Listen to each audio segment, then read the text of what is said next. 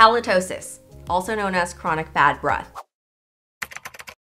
Hi everyone, I'm Dr. Joyce, and today I want to talk about a really sensitive topic that a lot of people are afraid to bring up at their dental appointments bad breath. Look, everyone gets bad breath at one point or another, but some of us may struggle with severe bad breath, making it really embarrassing to get too close to other people. We might even be too self conscious to ask our dentists for help. Before we go any further, I need you to know two things. One, your dentist is one of the best people to help you manage bad breath, period. Two, everything you and your dentist talk about is confidential. They're not gonna go around and blab and blab about your bad breath after you have that conversation. But if you don't bring it up, they'll probably be the one who is uncomfortable and have to present the issue during your exam. Now that we've gotten that out of the way, let's talk about the biggest factors that cause bad breath and what you can do about them. Here are the top six reasons and we'll count down to number one. Number six is dry mouth. When the natural moisture levels of your mouth are thrown off, it can also cause your breath to change. When there's a lack of saliva, bacteria can build up more quickly because nothing is flushing it away during the day. And some bacteria can develop and reproduce even faster because of the dry environment in your mouth. A lot of things today can contribute to dry mouth, which we also can call xerostomia. Over-the-counter and prescription drugs are just a couple of examples.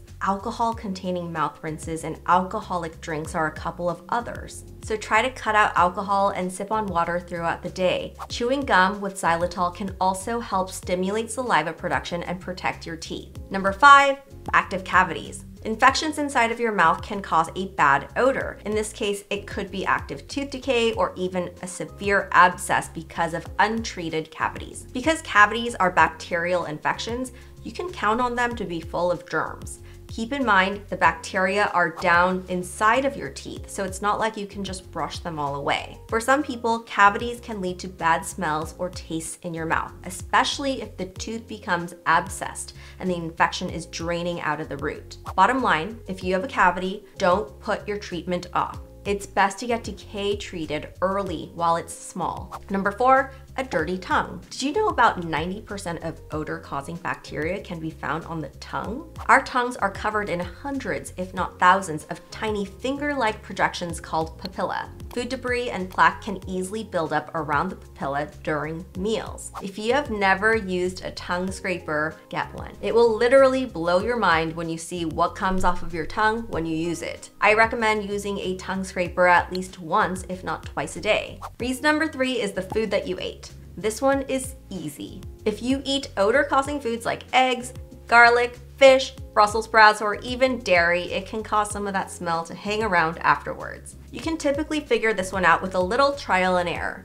Keep a food log and jot down what you eat, when you eat it, and when you notice yourself having bad breath in your mouth or odor coming from it. Reason number two is a sinus infection or other illnesses. Sinus drainage and post-nasal drips in the back of your throat can cause some really gross odors, but ongoing bad breath can also be tied to things like gastrointestinal disorders and even cancer in some rare cases. If your mouth is completely healthy and you have no idea why you're struggling with bad breath, talk to your medical provider. It's better to be safe than sorry. Last but not least, the number one cause of bad breath is periodontal disease. Almost every patient I see who has bad breath usually has a gum infection. This odor isn't something you can rinse away or floss until it heals up. And you can't cover it up with mints, gums, or mouth rinse. In fact, it may make your bad breath even worse. This type of halitosis is caused by dying necrotic tissues down underneath your gums around the roots of your teeth.